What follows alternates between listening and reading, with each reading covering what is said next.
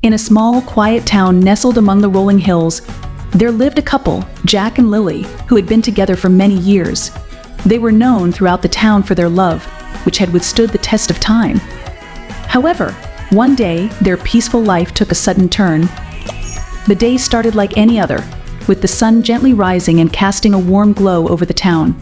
But as Jack went to start his old, reliable car, nothing happened. Try as he might, the car wouldn't start. Lily, hearing the commotion, came out to find Jack scratching his head in confusion. What's going on? she asked. The car just won't start, Jack replied, his frustration growing. Determined not to let this ruin their day, they decided to walk to their destination, a quaint little cafe where they had first met. As they walked, the sky turned gray, and before they knew it, rain began to pour down, soaking them from head to toe.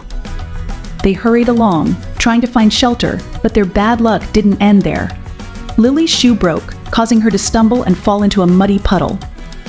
At this point, both Jack and Lily could do nothing but look at each other and burst into laughter.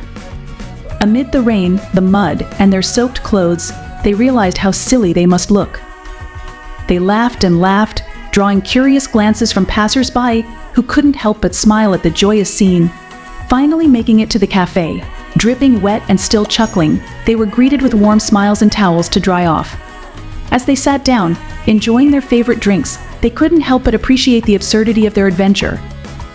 It was a reminder that no matter what life threw at them, they could always find a reason to laugh and enjoy each other's company. Their day had started with a series of unfortunate events, but in the end, it turned into a memorable story of love, laughter, and the unexpected twists that life can bring. Jack and Lily's tale became a favorite among the townsfolk, a testament to the couple's unbreakable bond and their ability to find humor in even the most trying circumstances.